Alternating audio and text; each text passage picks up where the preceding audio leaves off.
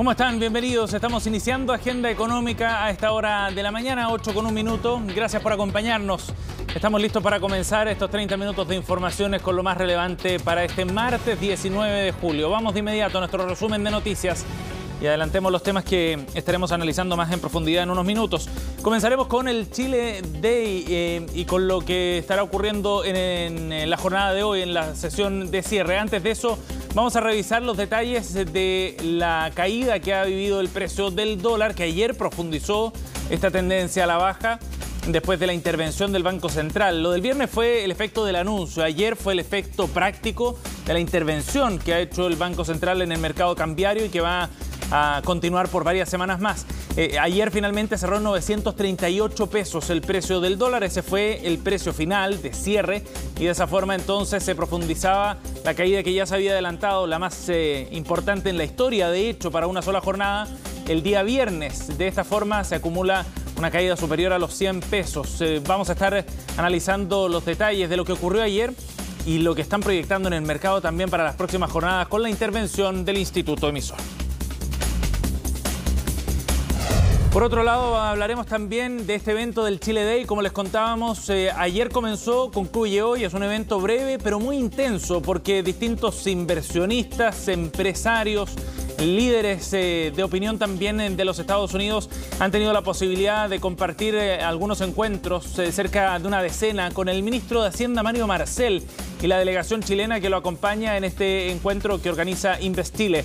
Eh, se está desarrollando en Nueva York y según lo que reportan distintos medios, eh, los encuentros han girado fundamentalmente en los temas de preocupación de los inversionistas que tienen que ver con la inflación, con la estabilidad política de nuestro país, pero sobre todo con la situación del mercado de capitales y cómo las reformas que está llevando adelante el gobierno podrían afectarlo. Ayer fue la jornada inaugural, eh, Mario Marcel enviaba un mensaje de tranquilidad de alguna forma, explicando cuál es el alcance de las reformas, cuál es el objetivo también de ellas y de alguna manera recogía una impresión relativamente positiva. Aseguraba que las reformas allá, afuera, se ven como un proceso de modernización y no como una agenda radical. Les contamos más y qué fue lo que dijo el ministro Marcelo. Lo escucharemos también en sus palabras directamente en unos instantes. Esta es una noticia muy preocupante. Los niveles eh, en los que la inflación está golpeando la economía nacional son cada vez eh, más profundos y hay algunos segmentos en particular que ven su efecto mm, eh, dramático desde el punto de vista de las necesidades más básicas. Es lo que mide la canasta básica de alimentos en nuestro país y que marca finalmente la necesidad de que cada persona, cada individuo necesita como un mínimo para sobrevivir. Esa canasta básica ha aumentado más de 17% en su valor en 12 meses. Es el grupo eh, de los más vulnerables, precisamente el que tiene necesidades más eh, específicas y más eh, básicas, como decíamos, el que se está viendo duramente golpeado. De hecho, el 75% de los productos que están dentro de esta canasta ha subido en los últimos 12 meses. Y eso tiene implicancias además bien concretas desde el punto de vista de la clasificación de los niveles de pobreza en nuestro país. Eh, se prevé, según un estudio de Libertad y Desarrollo, un aumento importante en los indicadores de pobreza solo producto del aumento en el precio de algunos eh, productos básicos. Ya estaremos revisando más detalles en unos instantes. Y por otro lado, también les contaremos de la multa que aplicó la CMF en contra de un director de la empresa nacional Invercap. Ayer dio a conocer la Comisión para el Mercado Financiero esta sanción en contra de este director debido al uso de información privilegiada. Es una sanción en contra de Felipe Navarrete, también en contra de dos de sus hermanas. Se vieron beneficiados por el acceso a determinada información específica que por su rol de director no podía aprovechar para su uso personal. Eh, eh, fue lo que hizo finalmente con la compra de algunas acciones y eso es lo que determina entonces que la comisión aplique esta sanción por poco más de 300 millones de pesos. Lo interesante es que estos antecedentes ahora quedarán en manos también del Ministerio Público para que vea cuáles son las acciones legales que debe seguir adelante en caso de que así lo considere necesario el Ministerio Público. Eh, ya les contamos más en unos instantes. Y a esta hora 8.6 cerramos nuestro resumen con los números del mercado para ver cómo parte el día, qué es lo que está ocurriendo afuera, sobre todo en Europa, en Asia. Estos son los números de la jornada del Eurostox a esta hora prácticamente plano con una variación negativa de 0,03%. Londres, en tanto, está con una tendencia al alza, con 0,24% de ganancia para el indicador británico. Mientras tanto, en Asia, el cierre fue mixto. En el Nikkei de Japón se observa un alza de 0,65%, mientras que el Hang Seng está cayendo 0,89% a esta hora de la mañana. Eh, rumores sobre la posibilidad de un alza en la tasa de interés en Europa por parte del Banco Central Europeo es uno de los temas que está girando eh, en torno a las bolsas a esta hora de la mañana, según el reporte que llega desde el viejo continente. Por otra parte, el precio del cobre hasta ahora está cayendo levemente, menos de lo que subió en el día de ayer. El dólar, como ya les contábamos, cerró en 938 pesos y el IPSA ayer, la Bolsa de Comercio de Santiago, cerró con una caída de 0,2%. Bien, 8 con 7 minutos. Vamos a comenzar entonces con la revisión de las informaciones de esta jornada en detalle, después de haber adelantado parte de algunos temas eh, aquí en Agenda Económica. Y vamos a comenzar revisando lo que ha ocurrido este lunes en relación al Chile Day eh, y el encuentro que ha sostenido Mario Marcel, el ministro de Hacienda, y además la presidenta del Banco Central, Rosana Costa, a quienes vemos ahí en esta fotografía que llegó desde Nueva York el día de ayer, en una sesión larga que comenzó temprano con la apertura de la bolsa en el Nasdaq, un acto simbólico más que nada para dar inicio a esta jornada de reuniones que significa el Chile Day, que recordemos es una instancia eh, que desarrolla Investile, una asociación privada, en conjunto con el sector público, y lo que busca es fomentar y fortalecer la plataforma de nuestro país eh, como un polo de inversiones a ojos de los extranjeros. Se realiza en Nueva York y también en Londres dos veces al año y es una instancia donde fundamentalmente se puede escuchar de primera mano cuáles son los puntos de vista del gobierno y del Estado chileno eh, a ojos eh, de los inversionistas. Eh, quienes estaban inscritos, por ejemplo, para participar ayer, representantes de bancos de inversión norteamericanos, de empresas norteamericanas que están expuestas al mercado chileno, ya sea con inversiones financieras o con otras inversiones físicas en nuestro país. y lo que ha planteado fundamentalmente este espacio es una preocupación por parte de algunos inversionistas respecto a lo que está ocurriendo acá en Chile. según reporta el diario El Mercurio, con el corresponsal Matías Ríos, que viajó a Nueva York, la inflación, la estabilidad del país en materia política eh, y sobre todo lo que va a ocurrir con las reformas tributarias de pensiones son puntos que han estado en la agenda de conversación que ha desarrollado Mario Marcel eh, en los más de 10 encuentros que sostuvo ayer. Un tema central, por ejemplo, aparece en relación al mercado de capitales en Chile. Eh, recordemos que cuando se produjo el proceso de retiros previsionales el año pasado, de los tres retiros, hubo mucha discusión sobre los efectos que esto iba a tener en el mercado de capitales.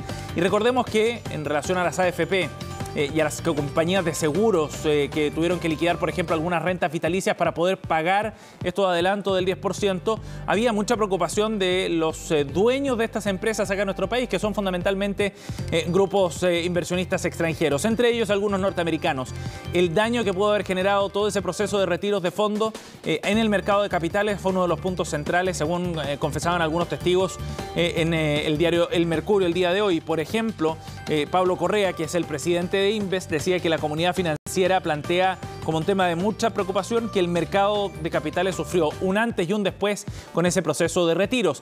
Y ahora se ve con atención que lo que va a ocurrir con la reforma de pensiones, donde el gobierno ha adelantado que las AFP, como las conocemos hoy, no van a tener un rol en el próximo sistema. Esos temas son los que están entonces girando en la agenda, en la vista de los inversionistas norteamericanos y a los que tuvo que hacer frente, además, Mario Marcel.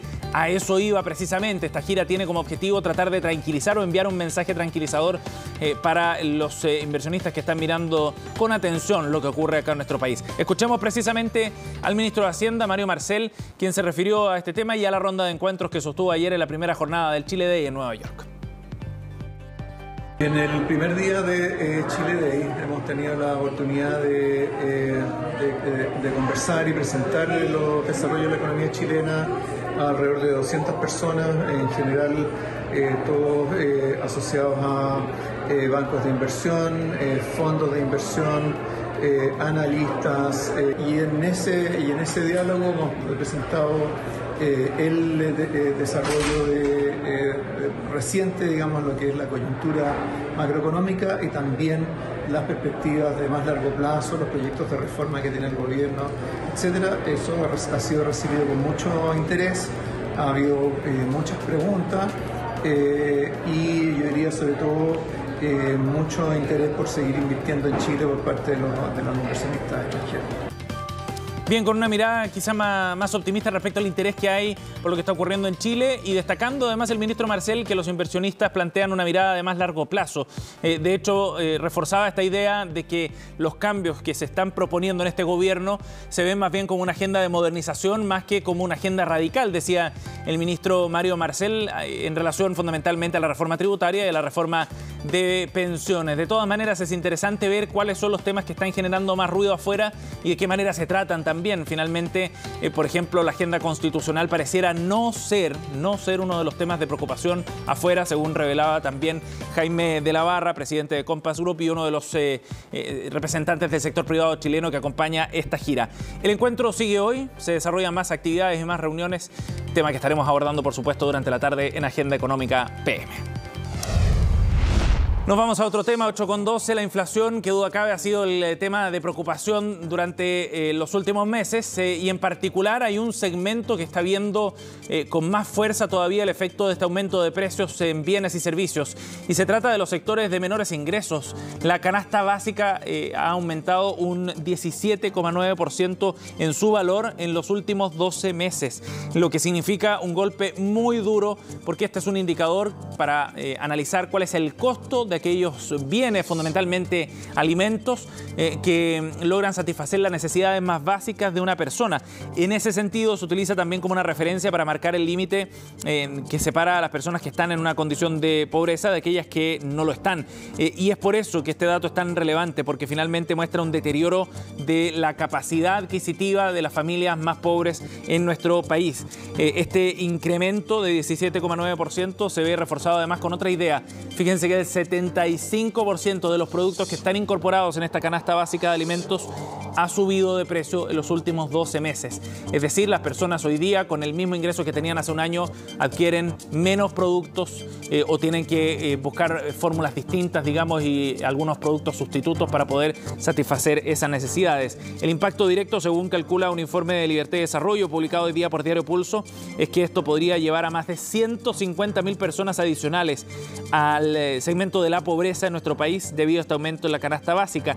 La extrema pobreza, en tanto, podría subir también producto del efecto de la inflación en este grupo de personas, lo que plantea, eh, como ya lo había adelantado la ministra de Desarrollo Social, Janet Vega, hace unos días, un desafío enorme por el efecto que la inflación puede tener en el número de personas que están en esta situación en nuestro país. 8 con 14. Ya les contábamos que el precio del dólar ayer nuevamente bajó con fuerza en dos días, viernes y lunes. En las jornadas de transacciones ya ha caído más de 100 pesos. El efecto del Banco Central de su intervención se nota en el mercado cambiario chileno. ¿Cuánto podría durar esto y hacia dónde apunta esta tendencia? Es lo que vamos a revisar en la siguiente nota de Belén Vázquez. Los tableros ya dan cuenta de la baja que se produjo tras la primera jornada de intervención cambiaria por parte del Banco Central. En los últimos dos días la divisa perdió 105 pesos y este lunes cerró en 941. Lo que está logrando la intervención cambiaria es hacer que el mercado vuelva a funcionar de manera más normal, que los precios del tipo de cambio se muevan en torno a los fundamentos y que no sean aquellas fuerzas quizás especulativas que estén generando eh, una mayor volatilidad. Los analistas explican que la efectividad de la medida implementada pasa, entre otras cosas, porque el componente especulativo se redujo en gran medida y también por la abundancia de oferta en el mercado. Solo para esta semana el central pondrá a la venta directa mil millones de dólares.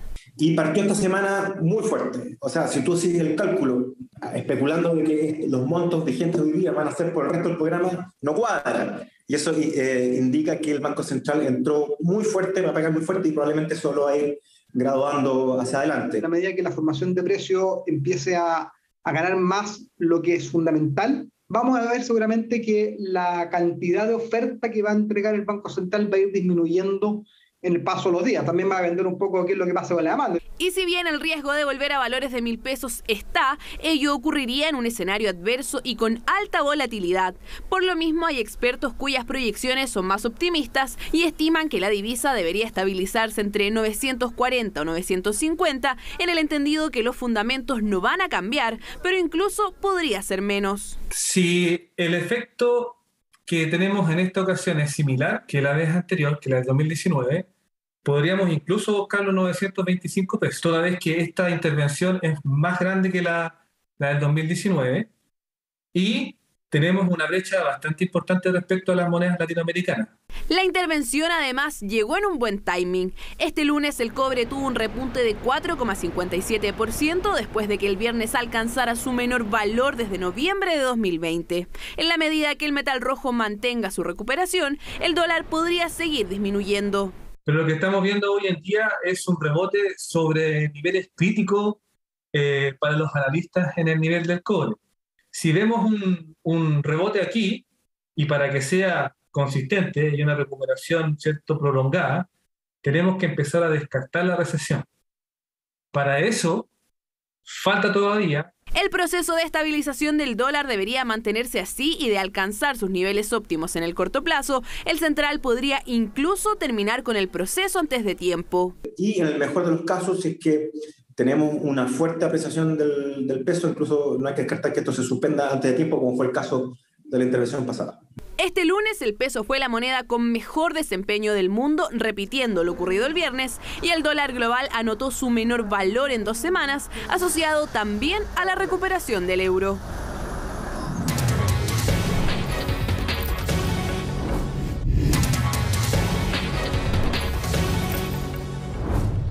Estamos de vuelta 8 con 20 para analizar un interesante tema. El Monitor Global de Emprendimiento es un documento que analiza cuál es la situación de distintos ecosistemas de emprendimiento en el mundo.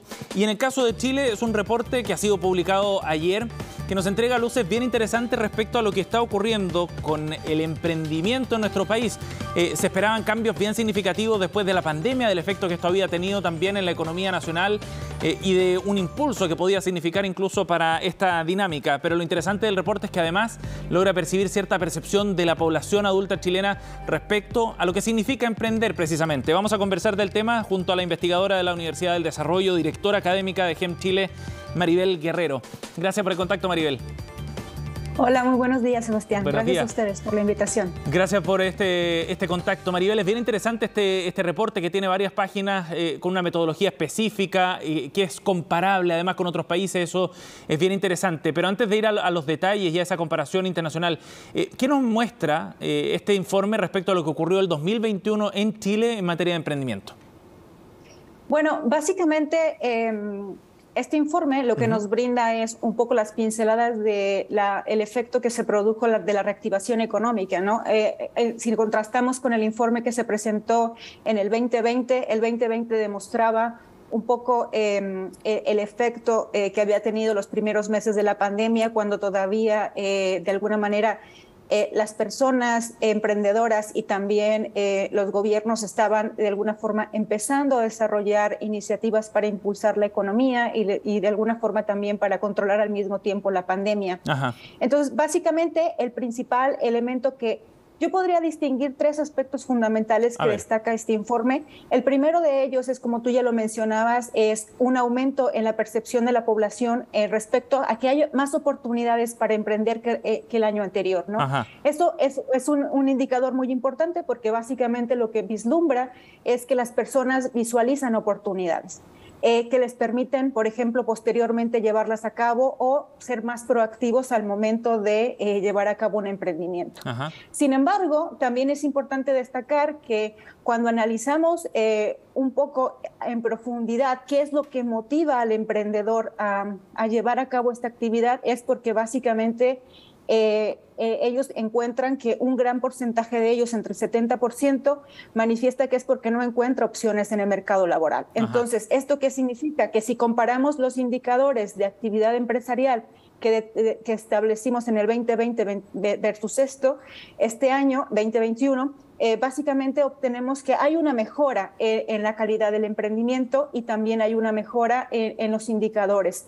Y sobre todo porque déjame destacar un aspecto muy importante. Cuando nosotros medimos la actividad emprendedora, esta actividad, que es la tasa de actividad emprendedora básicamente, se compone de dos componentes muy importantes. El primero son los emprendedores nacientes, que son aquellos emprendedores que aún no pagan salarios, pero que tienen menos de tres meses de vida y también los emprendedores que tienen más de tres meses, pero que también básicamente ellos empiezan a desarrollar sus emprendimientos, pagan salarios, pero tienen menos de 42 meses en el mercado. Es decir, la tasa de actividad emprendedora se compone por estos dos componentes. Maribel, y, en ese sentido, eh, esta disposición a emprender, el que se vean más oportunidades, ¿se reflejó efectivamente en nuevos proyectos, en nuevos emprendimientos? De hecho, esto es lo que estaba comentando anteriormente con, con el tema de, de, los dos componentes que compone este indicador. El primero es los nacientes, en el cual hubo una, hubo una mejora respecto al año anterior, es decir, proyectos, personas que tenían de alguna manera iniciativas para poder desarrollar esos emprendimientos. Y también aumentó eh, ligeramente respecto a ediciones anteriores eh, los, los nuevos emprendimientos, es decir, aquellos que ya empezaron a pagar salarios. Es importante destacar aquí que eh, este, este porcentaje de aumento puede ser derivado a que eh, obviamente hubo algunas medidas establecidas por los gobiernos anteriores para apoyar el emprendimiento y la reactivación de la economía también. pero también puede estar vinculado a, efectos de eh, que hubo una transición de aquellos proyectos que empezaron durante la pandemia y que eran nacientes y que pasaron a ser emprendimientos nuevos, ¿no? Entonces, básicamente, esto, esto es un aspecto muy importante a destacar. Sí, sin duda. Eh, Maribel, hay un tema que, a mí me llamó la atención y que tiene que ver con eh, la valoración que hace la sociedad del emprendimiento, ¿no? Y hay un 79% de acuerdo a este estudio que ve el emprendimiento como una opción de carrera profesional que es deseable. De hecho, si se compara con otros países, Chile es el que tiene la cuarta mejor valoración del emprendimiento como una, como una actividad. Eh, eso es bien relevante porque hay un potencial importante entonces para seguir eh, explotando eh, este, este mercado ¿no? o, o las oportunidades, digamos, de emprendimiento. Sí, de hecho, o sea, una de las opciones, eh, bueno, como tú lo dices, la percepción es muy importante porque básicamente si un individuo no percibe esas oportunidades y no se percibe también capaz de desarrollarlas y tampoco percibe modelos de referencia o personas que han desarrollado actividades similares a las que tú quieres llevar a cabo, es muy difícil, ¿no? Entonces, por lo tanto, el hecho de que el emprendimiento se considere eh, un elemento muy importante eh, como una carrera para llevarla a cabo es, es, es, un factor determinante para que esto implique, se implique y se lleve a cabo. De hecho, otro aspecto importante que está vinculado con esto es cuando nosotros preguntamos en esas percepciones eh, si la población está interesada en, por ejemplo, en emprender o tiene la intención de emprender en los próximos tres años y generalmente el 50% de la población chilena manifiesta que sí, está interesada en emprender. El hecho es que, claro, de emprender de tener la intención de emprender a la acción, pues eh, de alguna forma está en los indicadores que te mencionaba anteriormente. Generalmente tenemos un 50% de la población que tiene esta intención, pero al momento de emprender, generalmente el 30% de ella, pues básicamente es la que emprende, ¿no? Entonces ahí hay, un elemento muy importante eh, que, hay que, hay que considerar también en el momento del diseño de política pública. También. Sí, eh, Maribel, y ustedes, eh, para aprovechar bien el tiempo, ¿ustedes logran detectar en este informe también los desafíos para seguir incentivando el emprendimiento, entendiendo que aquí hay un motor para el desarrollo económico que es bien, bien relevante? Sí, mira, lo que pasa es que el informe también eh, básicamente está capturando no solamente la percepción de la población que se encuesta eh, alrededor de las 16 regiones de Chile, sino también nosotros capturamos la percepción de expertos que son básicamente personas que apoyan al emprendimiento, personas que están vinculadas en nueve condiciones. Entonces, básicamente, eh, generalmente estos expertos eh, brindan una serie de opiniones sobre cuáles fueron los principales obstáculos, apoyos y recomendaciones para esta actividad. Y este año en particular, eh, al mismo que el año pasado, siguen estableciendo recomendaciones eh, orientadas a fomentar el, apoyo financiero a los emprendedores en las diferentes etapas del proceso emprendedor, como te lo mencionaba. En muchas ocasiones se concentra en, las primeras etapas de la actividad emprendedora y se descuida esas otras fases de, madurez o de crecimiento que pueden ayudar a las empresas, por ejemplo, a internacionalizarse, a crecer orgánicamente en el desarrollo de nuevos empleos e incluso también a innovar, ¿no? Eh, y otro aspecto también muy importante que ellos destacan está vinculado con esto que te mencionaba, de políticas públicas, diseño de programas de políticas públicas orientadas a, este, estos elementos. Y sin duda también destacan la importancia de la educación y de la formación en las cuales pues no solamente consideramos emprender como la acción de generar una empresa, sino como el emprendimiento como un estilo de vida, ¿no? Que también fomente esa proactividad, que fomente también eh, de alguna manera eh, pues estos elementos que eh, puedan ayudar al individuo a seguir siendo proactivo y desarrollar económicamente, no solamente como emprendedor por sí mismos, sino también a lo mejor al interior de los empleos, organizaciones en las que forma parte, por ejemplo, el intraemprendimiento. Muy interesante el análisis, lo que refleja también eh, y el punto de partida que marca, eh, en definitiva, este, este diagnóstico para llevar adelante otros cambios de más largo plazo. Maribel, gracias por conversar con nosotros hoy día, muy amable. No, gracias a ustedes, Sebastián, por la difusión del informe. Hasta luego. Chao, buen día. 8 con 29, cerramos Agenda Económica, gracias por acompañarnos. Ya viene Noticias Express aquí en CNN Chile. Viviana Encina los acompaña con las informaciones del día. Que tengan una buena jornada.